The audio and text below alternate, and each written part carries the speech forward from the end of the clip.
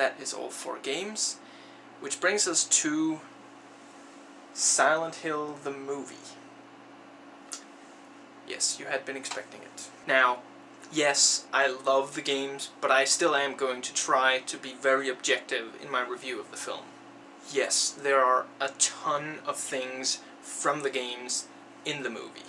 Several of the camera angles and creatures, a bunch of the music, the visuals are very directly inspired by the games, and credit where credit is due, the film looks amazing.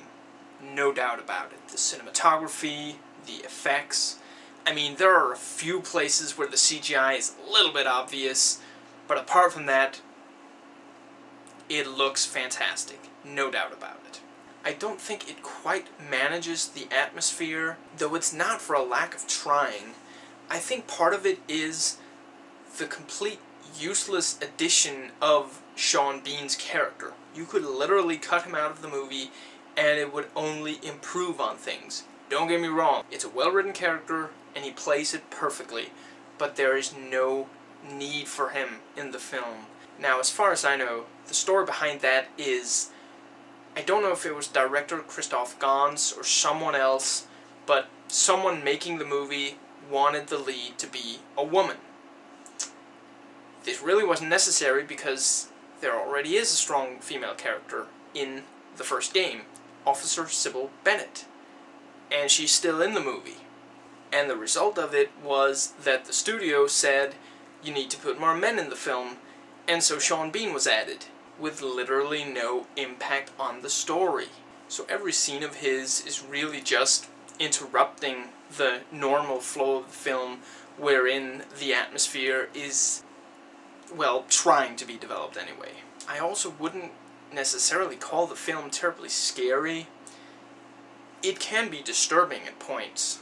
Nowhere near as much as the games, but still, there are some nice references to stuff in the games.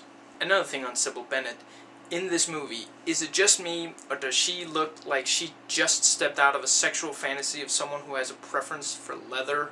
I know she wasn't unattractive in the games, and yes, there was some creaking of the leather, at least in the CGI cutscenes, but still, is it really necessary to sexualize any female in a horror movie nowadays? Even the mother is. The plot itself is not horrible. It's nowhere near as memorable or chilling as that of any of the games, and it is flawed, but it's not the worst I've ever heard.